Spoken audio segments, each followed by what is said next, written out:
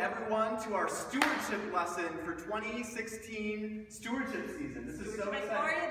That's right. You know, Pastor Lois and I were both math majors in college, so we're like really good at math. And we know some of you maybe aren't That is good good. math. But Right, that's okay so- because like we're we're actually pretty good at it. We're good, and this is, you know what, this is actually pretty easy. Yeah, And so we don't easy. think it's gonna be hard at all for you to understand how to give the new one percent. One percent of all your income, you add to your giving. And it's not gonna be hard at all to explain, so I'm just gonna kind of show you the, um, what we mean is the sum of your giving plus your, uh, um, one percent of your income. So one percent of income, right? So we're gonna try and show you how to do this, and I don't think it's gonna be hard. Let's, we're we're gonna let X equal income, okay? And so if you take X, and then you try and figure out the one percent of your income. So to do X, so like you go, um, let's say one percent of X, right, which is the same as 0.01. So that's your decimal point, zero one times your X. And then if you um, multiply that, and you get that, we'll, we'll call that Y. Let's call that Y. And then you're taking Y plus your, your giving. Your giving is, um, so here, we're gonna put that there. So- 2015 giving, right? so 2015 giving, so let's let G equal 2015. Do you have this now? Giving. See, it's not very hard. It's not really very hard at all. So then if you take your giving, your giving would be your sum of, so that's another sum.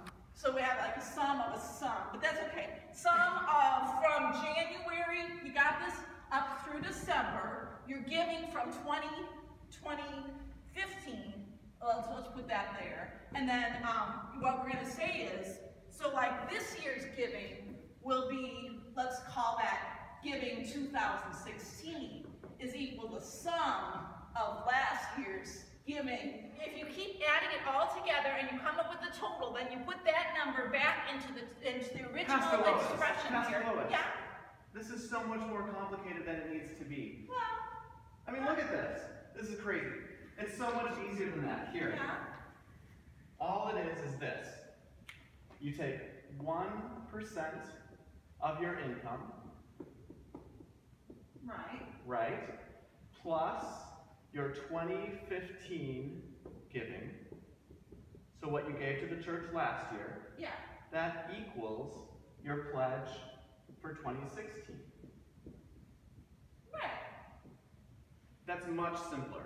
So for example, if you make $50,000 per year, Right.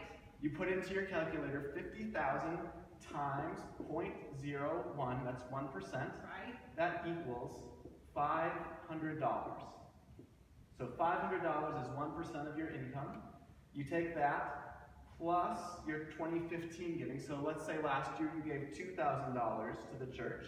You take 2,000 and you add those two numbers together to get your 2016 pledge, $2,500. There it is. That's much simpler than what you were trying to do before. I think it was the same thing.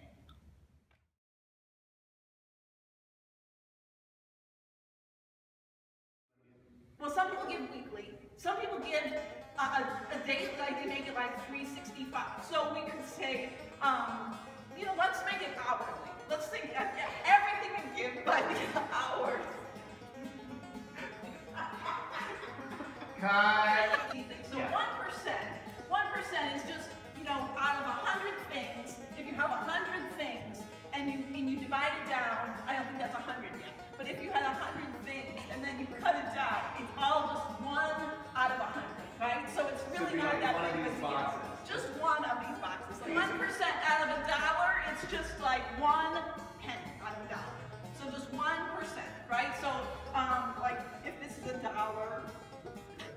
very simple. One half. Okay. Let's call that giving 2016 is equal to sum of last year's giving 20 I think, I think that's. plus I think we got enough footage now for Okay? so good. All right, so I think we got it.